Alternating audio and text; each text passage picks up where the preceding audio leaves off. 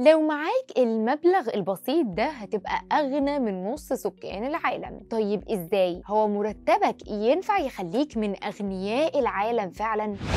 ناس كتير بتشوف إنه عدم المساواة في الدخل والثروة واحد من أبرز المشاكل اللي بيعاني منها النظام الاقتصادي العالمي. وده اللي خلى يكون في انقسامات اجتماعية وفئات مختلفة بسبب أوجه عدم المساواة. في تقرير حديث بيتكلم عن الثروة العالمية لسنة 2023 كشف مفاجأة بتؤكد إن 46% من إجمالي الثروات العالمية البالغ قيمتها 454 تريليون دولار أمريكي كانت في إيد 1.1 من 10% من مجموع البالغين في العالم. طيب ده معناه إيه بقى؟ شوف يا سيدي التقرير قال إن أي شخص في العالم بيمتلك أصول صافية بقيمة 8654 دولار أمريكي. هيكون ضمن أغنى نص سكان العالم وده في حين إن المبلغ المطلوب علشان تكون ضمن أغنى 10% من سكان العالم يكون معاك 137.3 من عشرة دولار أمريكي. أما بقى لو بتفكر تكون غني ورقم واحد في فئة أغنياء العالم لازم توصل الثروة بتاعتك مجموعها يكون مليون و80 ألف دولار أمريكي. طيب أنا إزاي بمرتبي البسيط ده أبقى من أغنياء العالم؟ الخبير الاقتصادي محمد الحسن في حديث لموقع سكاي نيوز عربية قال إن مبلغ 8654 دولار أمريكي واللي رصدوا تقرير الثروة العالمية لعام 2023 أكد إن في اللي بيمتلك الرقم ده بيكون من ضمن أغنى 50%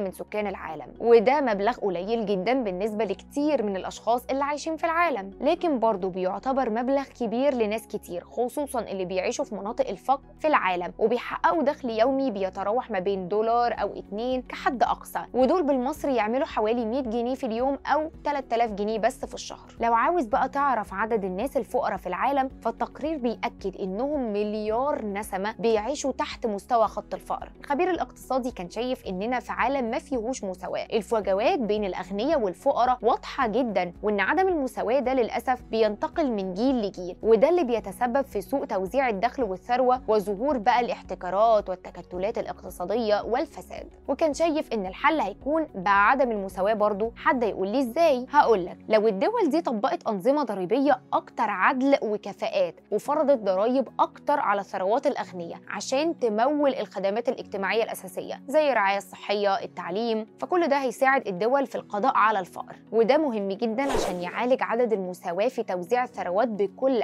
أشكالها وخليني أشرح لك أكتر وأقول لك إنه بكده الخط الفاصل بين الفقر والغنى هو مبلغ 8654 دولار أمريكي. وده لأن التقرير اعتبر الفرد اللي بيمتلك أصول صافية بتعدي الرقم ده ضمن أغنى نص سكان العالم. الحقيقة اللي بقت بقى معروفة للناس كلها دلوقتي إن نسبة الفقر في العالم نسبة مرعبة بتصعب النمو الاقتصادي على الدول. الحل بقى زي ما قلنا في التوزيع العادل والمساواة. قولوا لنا بقى الحل من وجهة نظركم إيه لمواجهة الفقر في دول العالم.